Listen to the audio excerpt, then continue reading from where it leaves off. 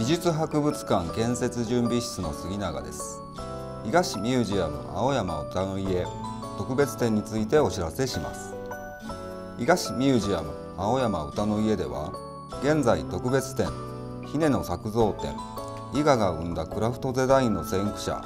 地元に残したものを開催しています。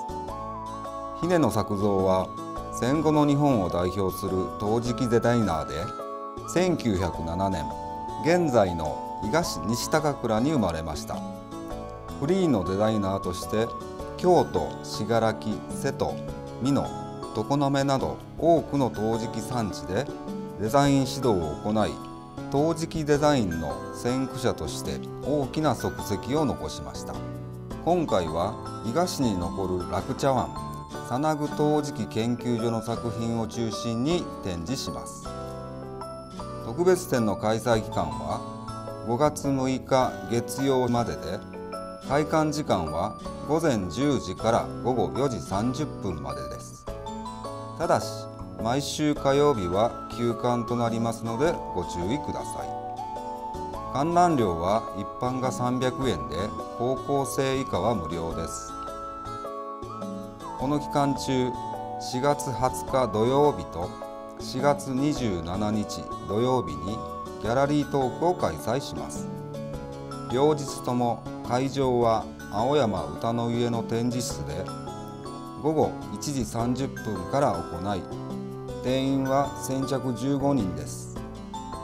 参加には事前予約が必要となります。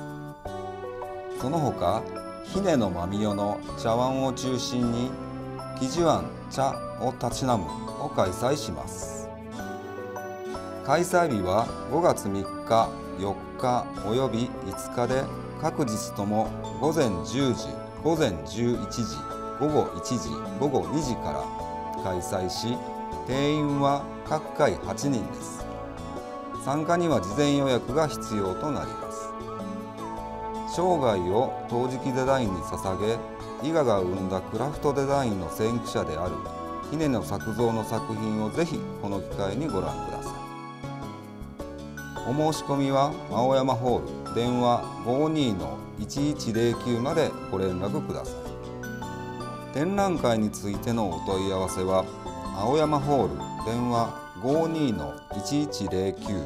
または美術博物館建設準備室電話41-0400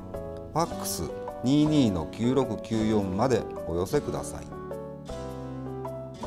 以上伊賀市ミュージアム青山歌の家特別展についてのお知らせでした。